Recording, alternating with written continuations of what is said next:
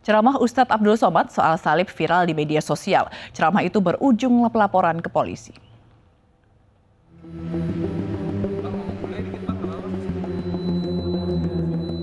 Ceramah Ustadz Abdul Somad Batubara yang viral di media sosial berbuntut pelaporan ke polisi. Sejumlah pihak melaporkan Abdul Somad dengan pasal penodaan agama.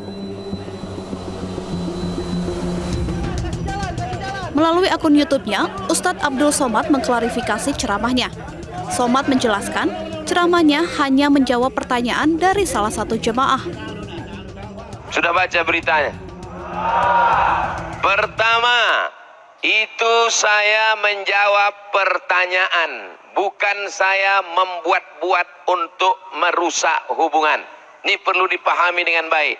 Yang kedua, itu pengajian di dalam masjid tertutup, bukan di stadion, bukan di TV.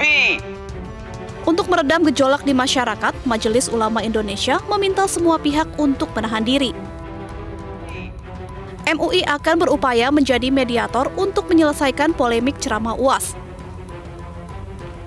MUI juga akan bersilaturahmi dengan tokoh agama lain untuk mendinginkan suasana.